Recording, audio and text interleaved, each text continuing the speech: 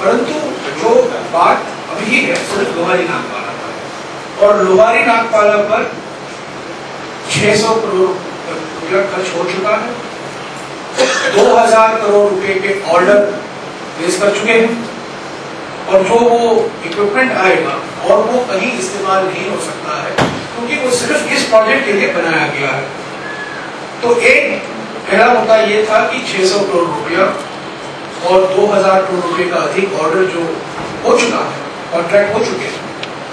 उसका क्या बात आई दूसरी बात यह है कि समिति के अनुसार इसको सुरक्षित रखने के लिए अगर ये प्रोजेक्ट नहीं आगे चलेगा तो इसको सुरक्षित रखने के लिए जो ढांचे बनाए गए हैं, जो टनल खोदे गए हैं, उसको सुरक्षित रखने के लिए और अधिक खर्चे की ज़रूरत पड़ेगी। जैसे कि मैंने कहा 200-300 करोड़ रुपया, उसको भी सरकार को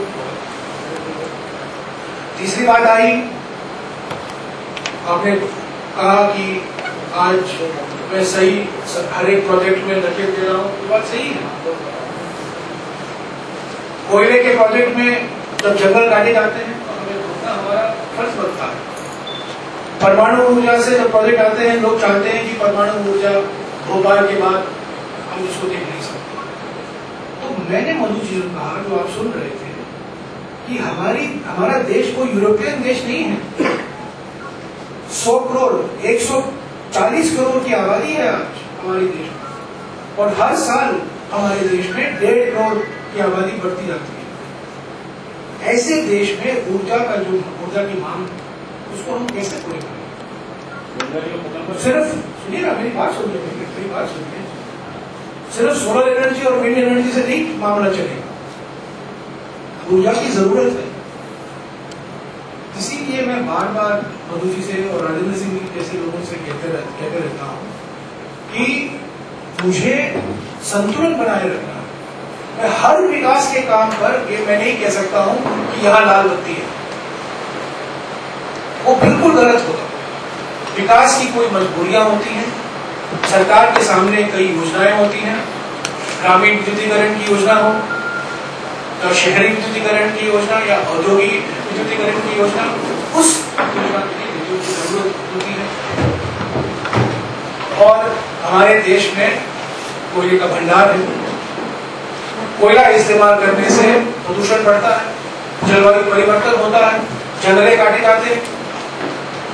जैतापुर में अभी हम एक परमाणु ऊर्जा के प्लांट लगाना चाहते हैं कि वहाँ भी जन आंदोलन शुरू हो गया।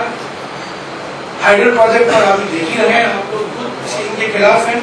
तो हमारा देश तरक्की नहीं कर सकता अगर ये रुका होता है।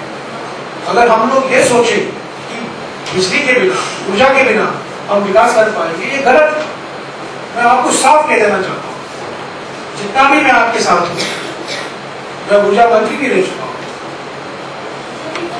भाई, सुनिए ना, सुनिए सुनिए। देखिए, ये सब रोमांटिक चीज़ें हैं कीजिए बचत कीजिए सोलर एनर्जी करिए विंड एनर्जी करिए सब रोमांटिक चीज़ें मूल बात यह है कि हमारी देश में कोयले के अलावा और कोई विकल्प नहीं है। हमें परमाणु ऊर्जा की ज़रूरत है, हमें हाइड्रो पावर की ज़रूरत है। पर किस ढंग से हम इसको करें? और पर्यावरण के साथ संतुलन कैसे हम बनाए? उस पर हमें ध्यान देना होगा। हम हर एक प्रोजेक्ट को अगर हम रोकेंगे तो काम नहीं चलेगा।